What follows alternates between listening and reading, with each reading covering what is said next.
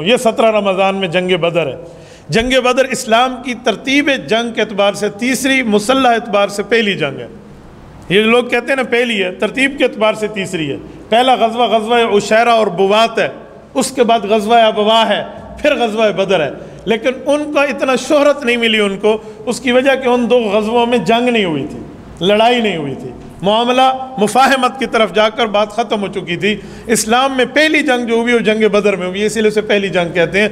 पहली जंग का माना पहली मुसल्ह जंग, जिसमें कताल हुआ है, जिसमें जिहाद हुआ है, जिसमें असला इस्तेमाल हुआ है।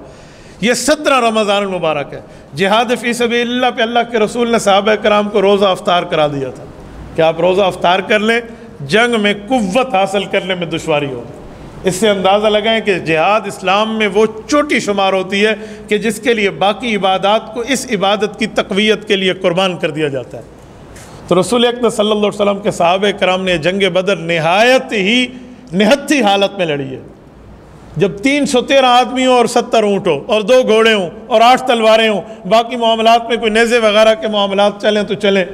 आप मुझे बताएँ, इस आलम में और कुरान करीम ने कहा है बिसलासत आलाफ मिनमलाकत मुरदफ़ीन। तीन हज़ार फरिश्ते इनकी मदद पे उतरे। एक साहबी कहते हैं यार रसोल्ला मैं काफिर कत्ल करने जा रहा था। एक मेरे दोस्त, एक साहबी की शिकायत लगाते हुए कहते हैं, इसने मुझे धक्का दिया और उसको खुद मार दिया। तो ये उस बंदे को ज़रा आप इस्लाम थोड़ी तंबी फरमाए। तो हजूर ने फरमाया, बंदा कौन है? कहा, यहाँ तो नहीं बैठा। ढूँढने से भी बंदा नहीं मिला जिसने मुझे यूँ हटाकर खुद कत्ल किया। तो अल्लाह के रसूल ने फरमाया, वो सहाबी, वो नहीं थे, वो फरिश्ते थे, अल्लाह ने तेरी मदद के लिए भेजे हैं। यानी इस तरह इमदाद आई है साहब कराम के साथ। आप अंदाज़ा लगे ना, फरिश्तों की कितनी इज़्ज़त है। आमन तो बिल्ला व मलाई का कह कर हम फरिश्तों पर अल्लाह के बाद ईमान लाते हैं। लेकिन ये फरिश्ते बतौर खिदमत साहब कराम के लिए उतरते हैं। रसूल अकबर सल्लल्लाहु अलैहि के सहाबा के तावन के लिए रब ज़मीन पर आसमान से भेजते हैं। और ऐसे नहीं भेजते। अल्लाह ने इनको तरबियत देकर भेजा है। सूरत नंबर आठ, सूरत अनफाल में मौजूद है। फजरबू फ़ौकल वजरबू मिनहम कुल्ला बनान। रब्बुल्ज़त ने फरिश्तों को जमा करके फरमाया कि इनके जोड़ पर वार करना है और इनकी गर्दन पर वार करना है। ये लफ्ज़ अल्लाह रब्बुल्ज़त के फजरबू आनाक इनकी गर्दन पर तलवार रखनी है। वजरबू मिनहम कुल्ला बनान, इनके जोड़ पर मारना है, काफिर के जोड़ पर। इस तरबियत देकर अल्लाह ने इन फरिश्तों को जंग बदर में भेजा। मुफसरीन ने लिखा है कि जो जंग बदर में फरिश्ते उतरे हैं क़यामत तक हक वाले मुजाहिदीन के तावन में उन फरिश्तों की ड्यूटी है कि वह नाजिल होकर इन अहल हक की मदद फरमाते रहेंगे। ये इस तरह साहब कराम का मामला ये जंग बदर है। और इस जंग बदर में अबू जहल जैसा फ़िरौन उम्मत ये कत्ल हुआ है। और पता नहीं बाकी बा, चौबीस काफरों के सरदार ये कत्ल हुए और उनको एक ही कुएँ में फेंका गया।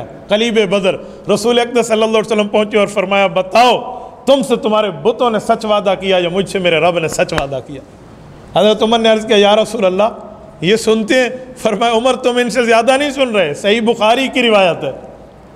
रसूल अकद ने उनसे गुफ्तगु फरमाई है और गुफ्तगु फरमा कर उन्होंने बताया कि मेरे हल वजत तुम रब हक्का? आज मेरे रब ने मेरे साथ वादा हक कर दिया। तुम तो मुझे मक्का में सज्जा करने से रोकते थे, मेरे सर पर ऊँट की ओजरी डाल देते थे, मुझे नमाज़ नहीं पढ़ने देते थे तो ईद की दावत पे तुम रोड़े अटकाते थे। आज बताएँ, आज अल्लाह ने किसके कलमे को बुलंद किया ये रसोल्ला इनसे शिकवा फरमा रहे इस जंग बदर है इस जंग बदर भी ये सत्रह तारीख को है।